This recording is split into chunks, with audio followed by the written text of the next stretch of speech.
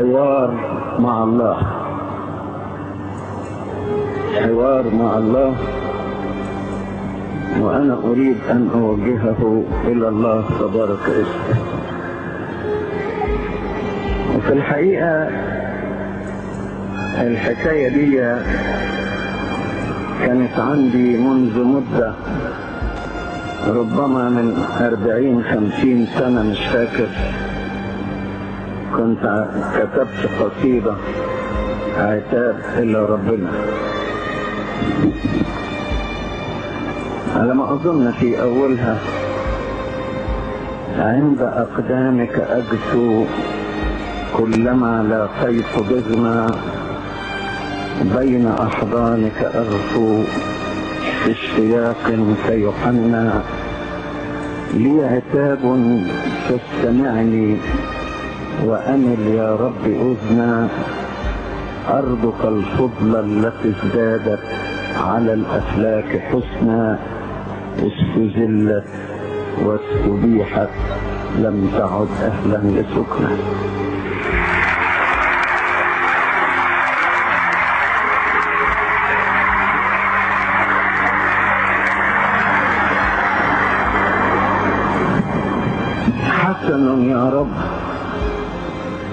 قلت هلما نتحاجج في أشياء الصح واحد حسن يا رب أنك قلت هلما نتحاجج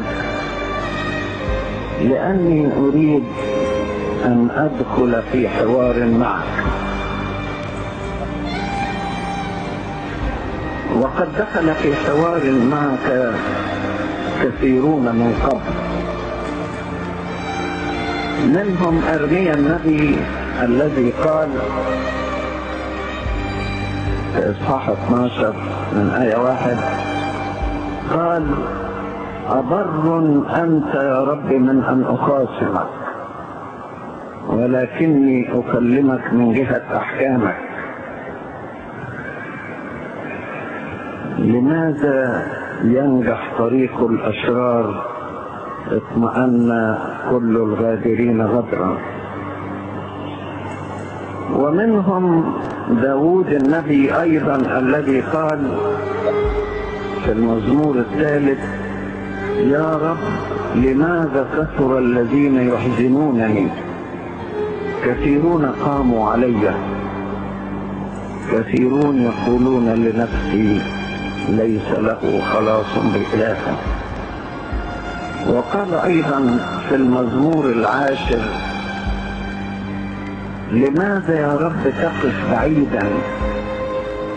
لماذا تختفي في وقت الضيق بيحاول ربنا بيعاتبه بيكلمه ومنهم أيضا إبراهيم أبو الآباء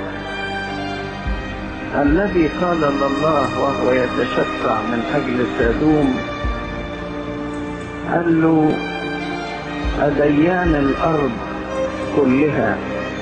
لا يصنع عدلا. أتهلك البار مع الأثيم؟ فيصير البار كالأثيم. بيتعذبوا ما دام كل هؤلاء قد دخلوا في حوار مع الله فاسمح لي يا رب أن أدخل أنا أيضا. في حوار معك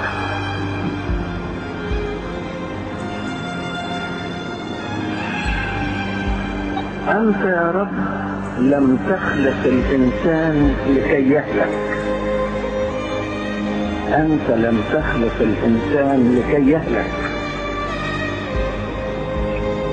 ولذلك قال القديس أثناسيوس الرسولي كان خيرا للإنسان لو لم يخلق من أن يخلق لكي يهلك وقال القديس بولس الرسول في رسالته إلى تيموثاوس تيموثاوس الأولى 2 أربعة إن الله يريد أن الجميع يخلصون وإلى معرفة الحق. يقبلون. يا ربنا عايز الكل يخلص. وفي حسقيال اصحاح 18 آية 23 يقول ربنا هل مسرة أسر بموت الشرير؟ يقول السيد الرب إلا برجوعه عن طريقه. فيحيا يعني ربنا عايز الجميع يخلصون ولا يسر أبدا بموت الخاطئ إنما يسر برجوعه وداود النبي بيقول لربنا أية منفعة في دمي إذا هبطت إلى الجحيم؟ هل يعترف لك التراب يا رب؟ أو يخبر التراب بحقك ما دام أنت يا رب تريد أن الجميع يخلصون فلماذا لم تعمل من أجل خلاص الجميع؟ أنا أعرف تماما أنك صلبت من أجل خلاص الناس وأنت قلت أن ابن الإنسان قد جاء ليخلص ما قد هلك. ولكن مع ذلك هناك كثيرون لم يخلصوا.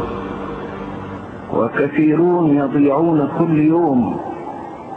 وكثيرون يهلكون.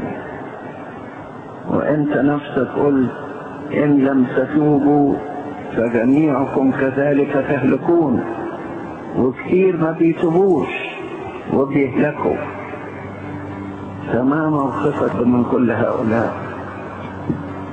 لماذا؟ لماذا تترك الشيطان يرتفع وتتسع مملكته؟ لماذا قلت في سفر الرؤيا إنه يصنع حربا مع القديسين ويغلبهم.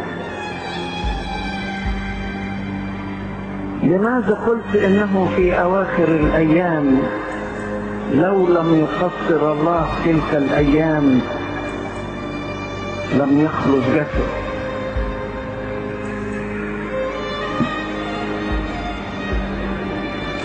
ولماذا قيل في سفر الرؤيا اصحاح عشرين إن الشيطان عندما يحل من سجنه يخرج لكي يضل الأمم.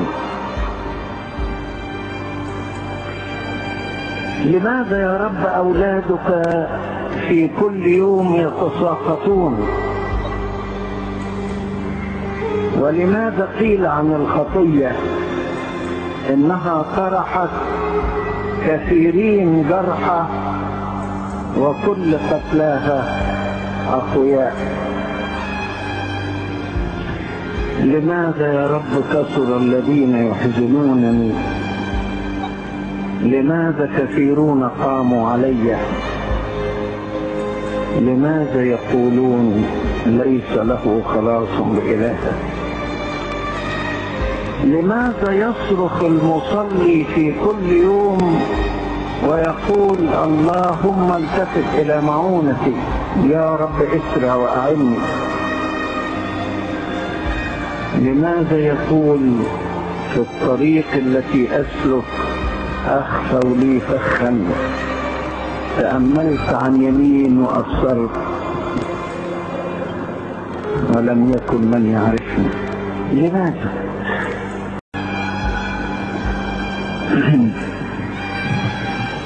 أنا يا رب أتلمس إرادتك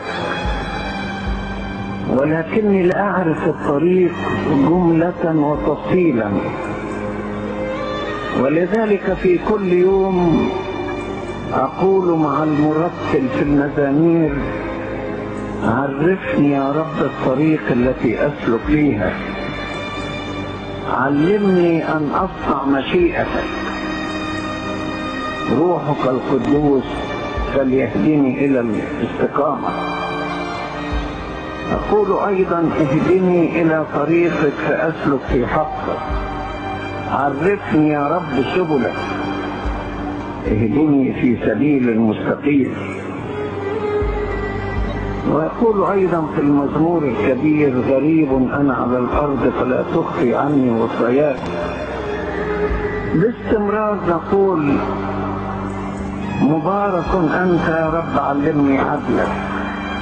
مبارك أنت يا رب فهمني حقوقك. مبارك أنت يا رب أنر لي برك. علمني أن أصنع مشيئتك. وفي آخر كل صلاة نقول سهل حياتنا ارشدنا إلى العمل بوصاياك ونقول في القداس الإلهي اهدنا يا رب إلى ملكوت.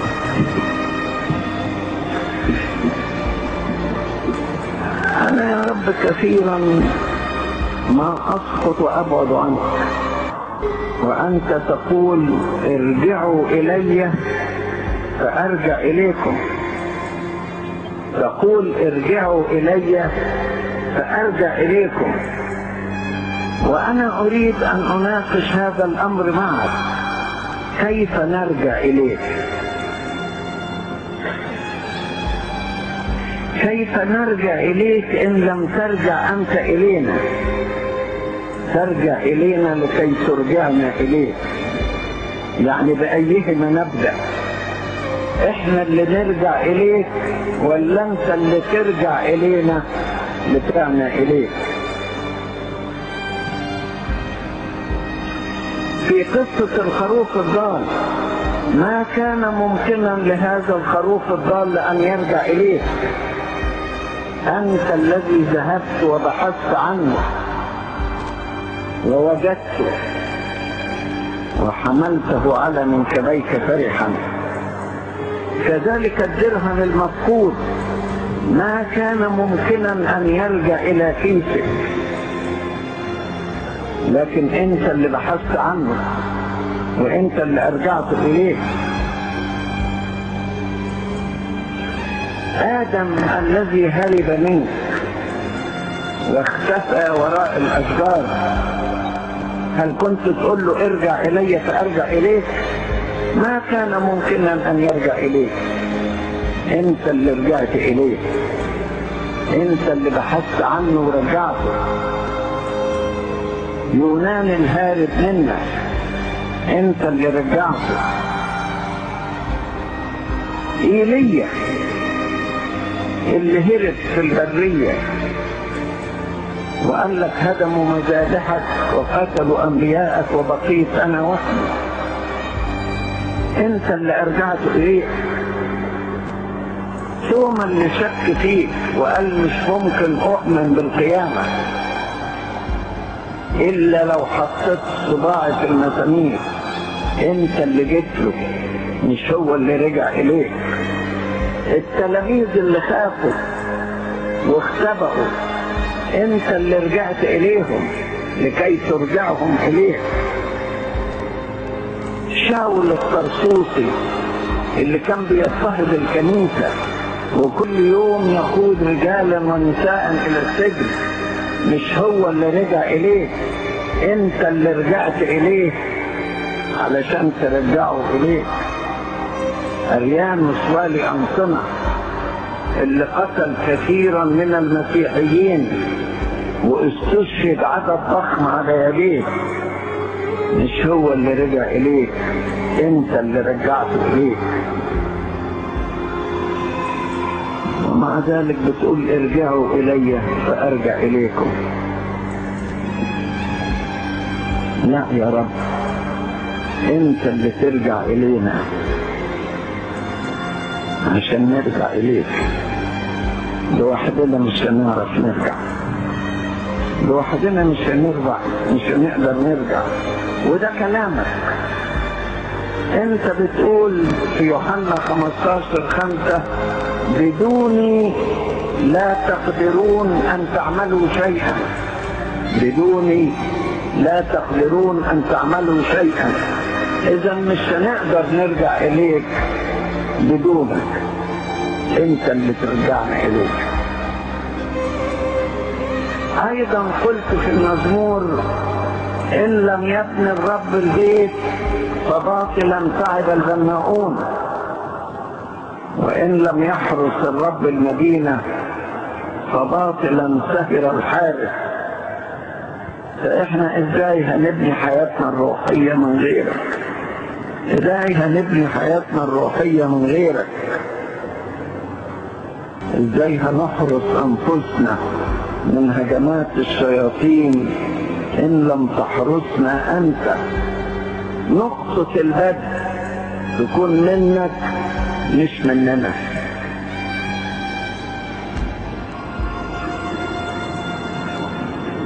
لازم أنتم تطلبوني ده عشان نطلبك لازم نعمتك هي اللي تخلينا نطلبك.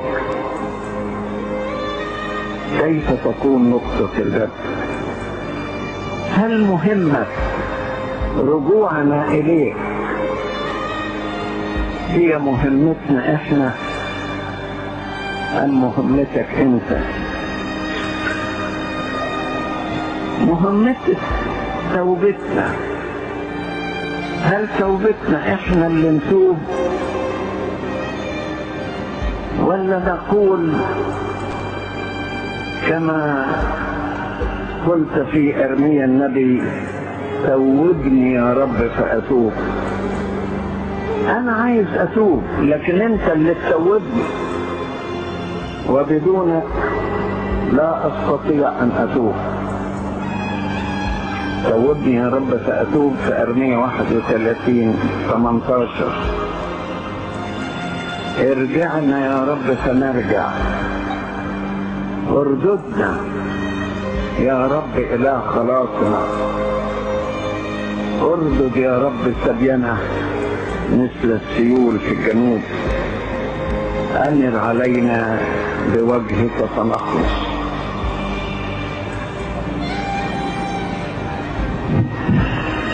نكمل. أنت يا رب بتقول ارجعوا إلي فأرجع إليكم. وإحنا عايزين إنك أنت ترجع إلينا لكي ترجعنا إليك. فهذا هو عملك الإلهي. هذه هي مسؤوليتك الإلهية. لأنك أنت الراعي الصالح. ومفروض إنك أنت ترعانا في مواضع خضرة وعلى ماء الراحة توردنا وترد أنفسنا وتهدينا إلى سبل البر. حتى إن سرنا في وادي ظل الموت لا نخاف شرا لأنك أنت معنا.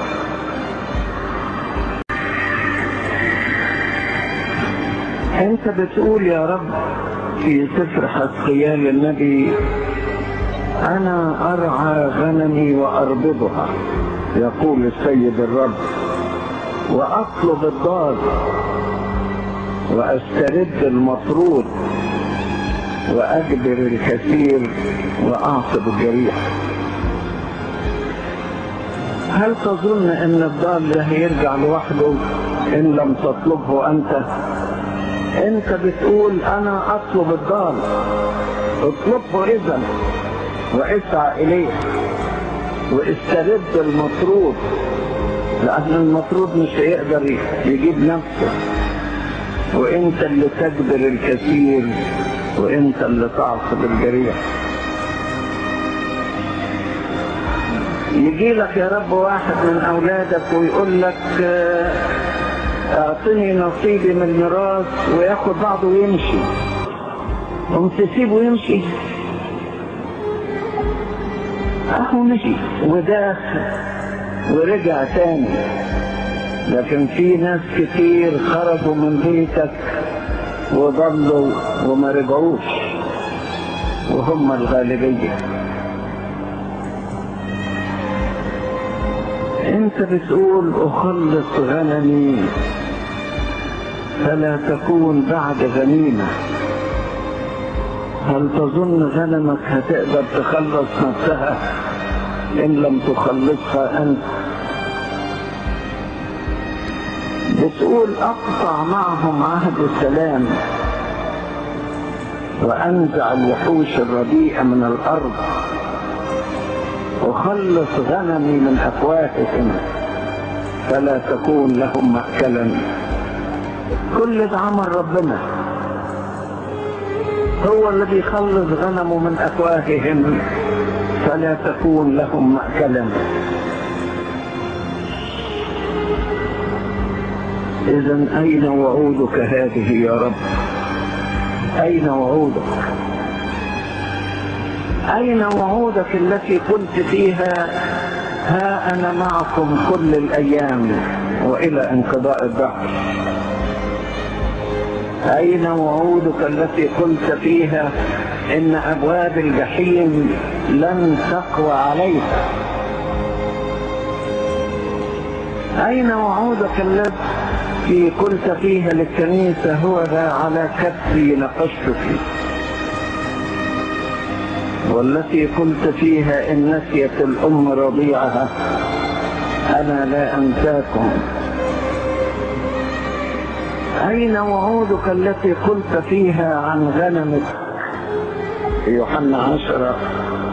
خرافي أنا أعطيها حياة أبدية ولن تهلك إلى الأبد. ولا يخطفها أحد من يدي. ولا يقدر أحد أن يخطف من يد أبي. آه يا رب. ها هم الخاطفون كثيرون.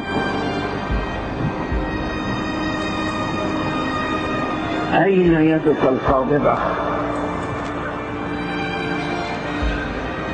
والتي خطف منها كثيرون أولادك. أين ملكوتك على الأرض؟ انظر إلى الخريطة. وأين ترى ملكوتك فيها؟ تقول ما اضيق الباب وما أقرب الطريق. الذي يؤدي إلى الحياة. وقليلون هم الذين يجدونه. لماذا يا رب قليلون هم الذين يجدونه؟ لماذا قليلون يخلصون؟ وأنت الذي تريد أن جميع الناس يخلصون وإلى معرفة الحق يقبلون. أنت الذي قلت للآب حفظتهم في حقك ولم يهلك منهم أحد.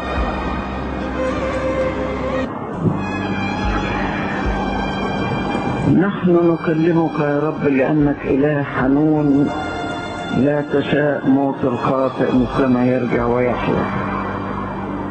نكلمك لأنك إله قوي تستطيع أن تنقذ فهل أنقذت الكل؟ نكلمك لأنك إله بار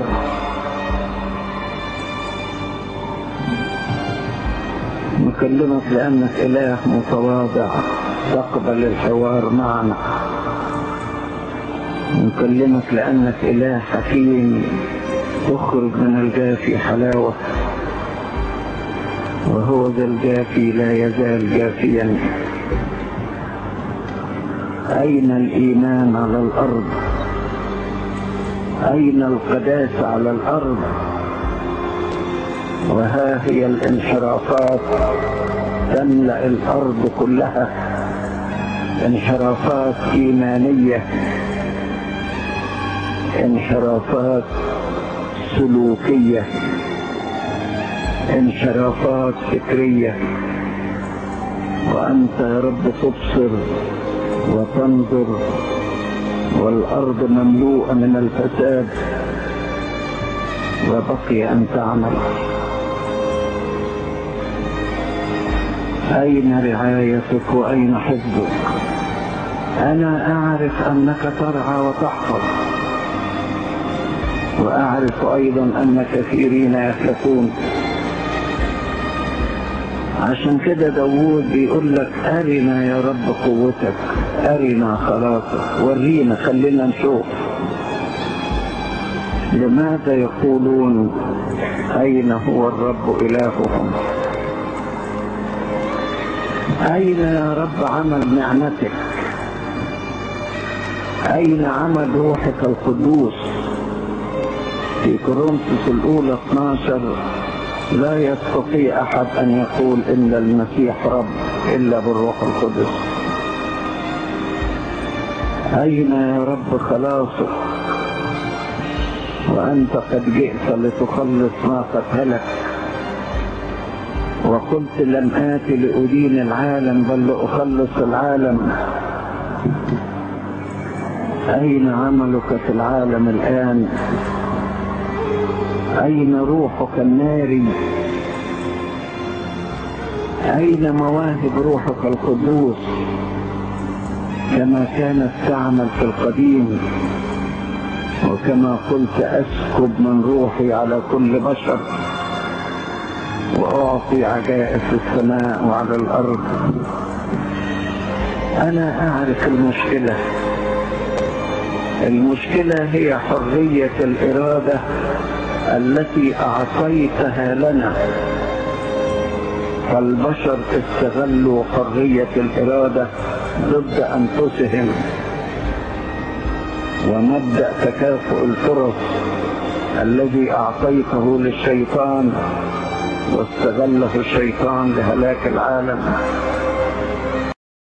أليس من حدود لحرية الإرادة على الأرض؟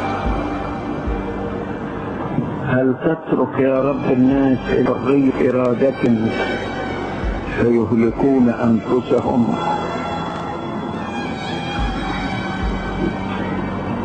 يعني تشوف واحد يرمي روحه في البحر ويغرق وتقول أسيبه لحرية إرادته.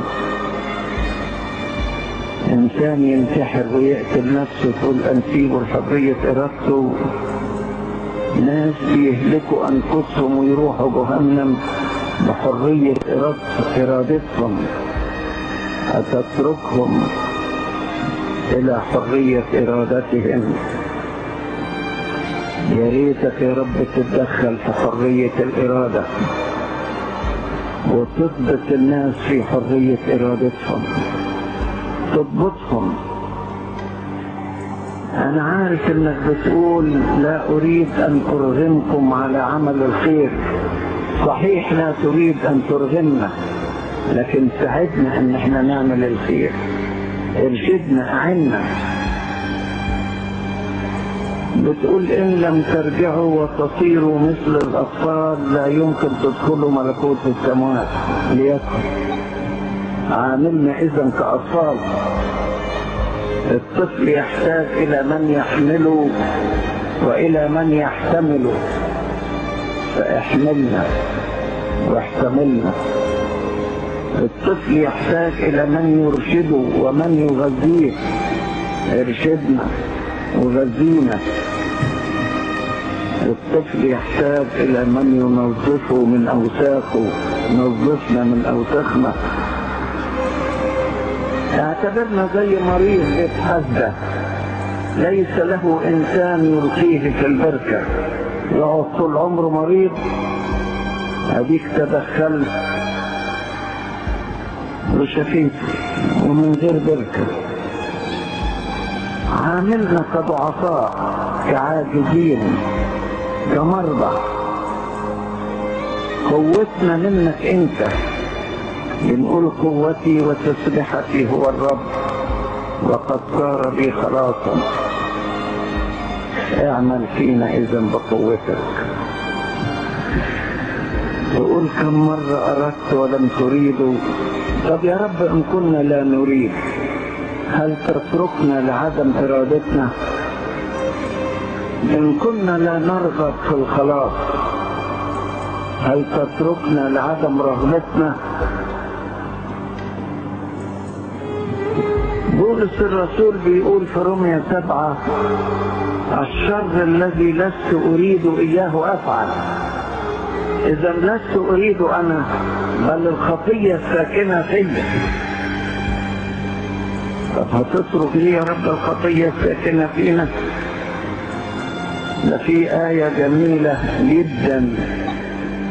في فيليبي 2 13 بيقول الله هو العامل فيكم أن تريدوا وأن تعملوا لأجل المصالح الله هو العامل فيكم أن تريدوا وأن تعملوا.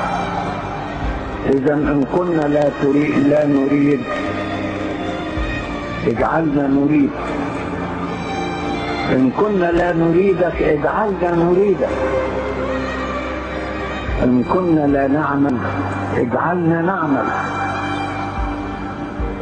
وأنت القادر. امنحنا هذه الإرادة. إن كنا لا نرغب في حياة القداسة امنحنا هذه الرغبة. كهدية مجانية من عندك. لكن لا تترك العالم إلى نفسه. إن كان العالم قد رفضك فلا تتركه إلى رفضه. إن كان العالم لا يريدك فلا تتركه إلى عدم إرادتك. حقا يا رب ما موقفك من الرافضين لك؟ ما موقفك من المقاومين لك؟